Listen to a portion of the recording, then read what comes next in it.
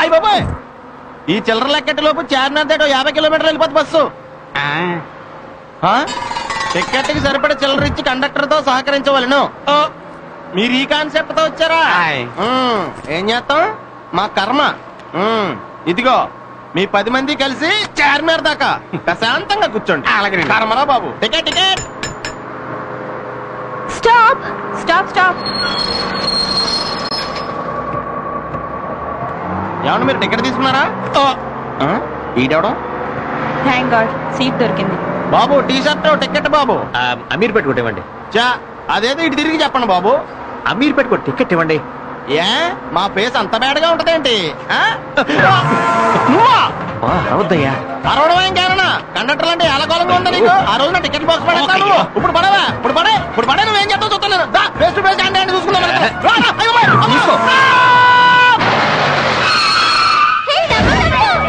రా, రా, అయ్యో, అమ్మో. అయ్యో, మన క్యాష్ బ్యాగ్ అమ్మో ఎక్స్క్యూజ్ మీ నేను మీకోసం బస్ ఎక్కలేదు. ఐఎమ్ సారీ ఏమండి? ఆగండి. మీతో కొంచెం పర్సనల్గా మాట్లాడాలి. మొదట్లో మిమ్మల్ని అందరిలాగా పోకిరి జులై అనుకున్నాను. ఎవరైనా నేను అందంగా ఉన్నానని ఐ లవ్ యూ చెప్పినా నాకు ఎలర్జీ. అందుకే ఆ రోజు మీకు గట్టిగా వార్నింగ్ ఇచ్చాను. తర్వాత మీరు కనిపించకపోయేసరికి మంచివారే ఉండొచ్చని నేనేమైనా పొరపాటు చేశానేమోనని చాలాసార్లు అనుకున్నాను. ఆ రోజు రెస్టారెంట్లో ఆ అమ్మాయిని కాపాడి మీరు చెప్పిన మాటలు విని మీరేంటో మీ మనస్తత్వం ఏంటో పూర్తిగా తెలుసుకున్నాను. ఆ తర్వాత మీకోసం వెతికాను.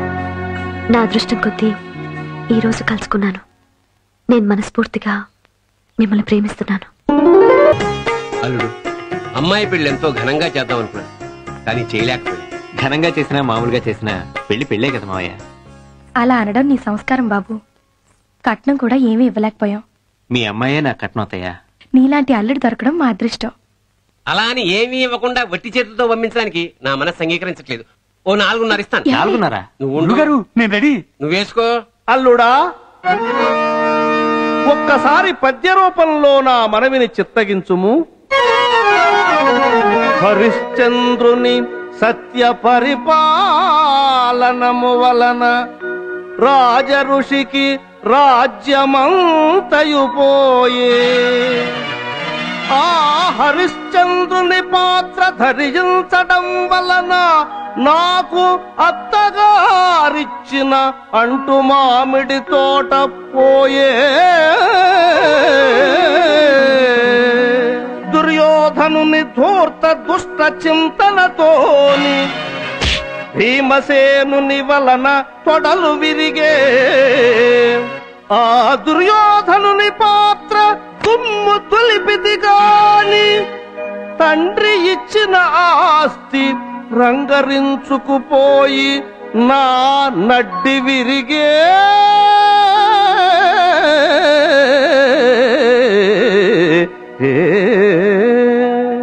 అవ్వ ఏమనుకోకు అల్లుడా? ఏమనుకోకు అల్లుడా? ఇప్పుడు నీకు కట్నమివ్వగా నా కూతురు పెంచుకున్న ఒకే ఒక ఒకే ఒక కుక్క పిల్ల ఒక్కటే. మిగిలి నాకు అల్లుడా?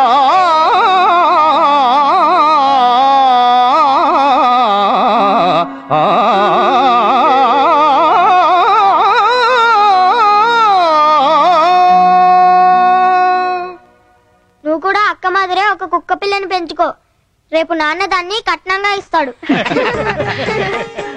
ఇంక పదమ్మా ఆలస్యం అయితే వజ్యం వస్తుంది. పద. వస్తాను మావయ్య.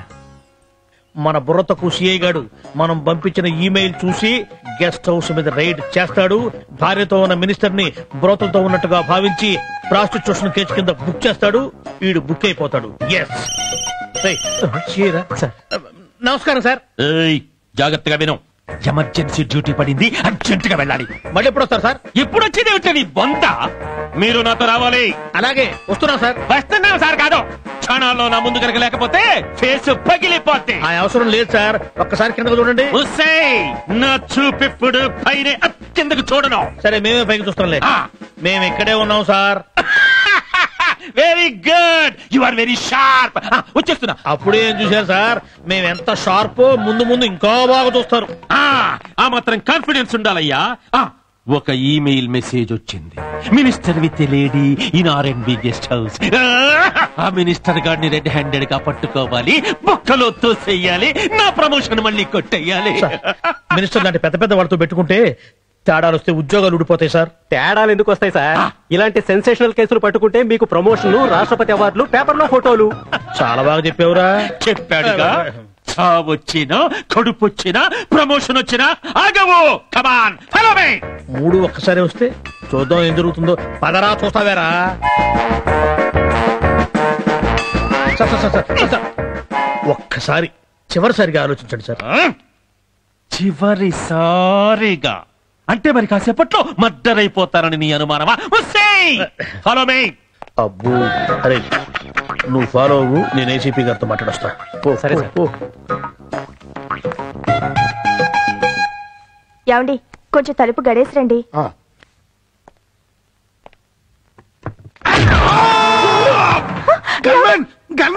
ex DSP present CI Prakash లోపలికి వచ్చినప్పుడు గన్స్ ఉండవు వాటిని పట్టుకునే మెన్ను ఉండరు మినిస్టర్ అసలు నా పర్మిషన్ లేకుండా నా రూమ్లోకి రావడానికి నువ్వెవడా!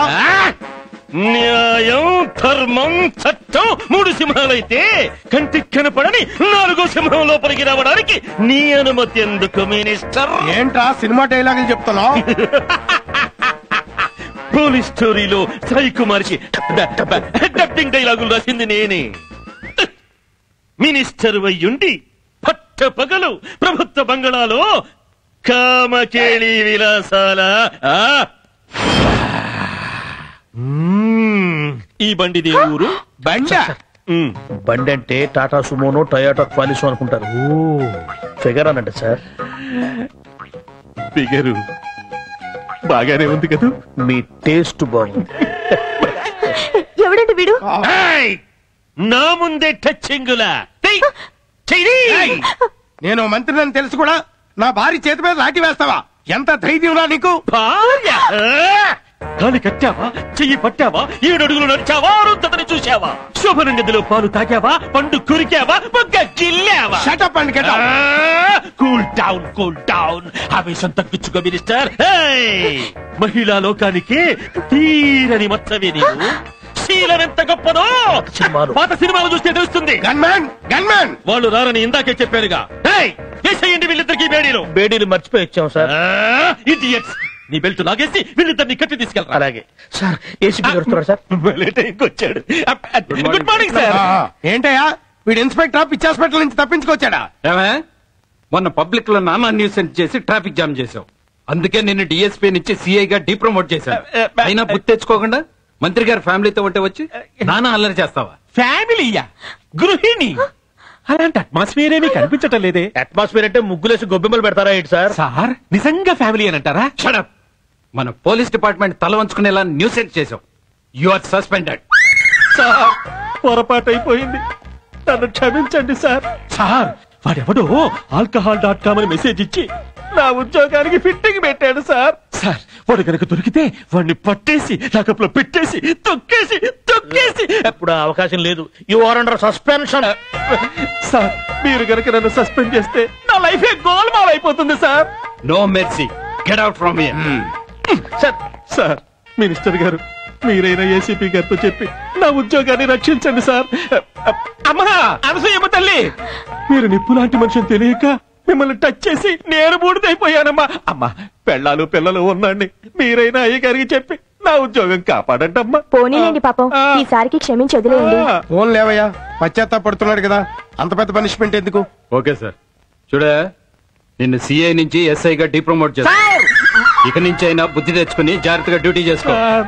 సారీ మా వాళ్ళు మిమ్మల్ని బాగా డిస్టర్బ్ చేశారు. క్షమించండి. ఇట్స్ ఆల్ రైట్ వస్తాను సార్ అమ్మా. ఆ. వస్తానమ్మా. సిఐ నీ బంధు ఇప్పుడు ఆయన ఎస్ఐ ఎస్ఐ రండి.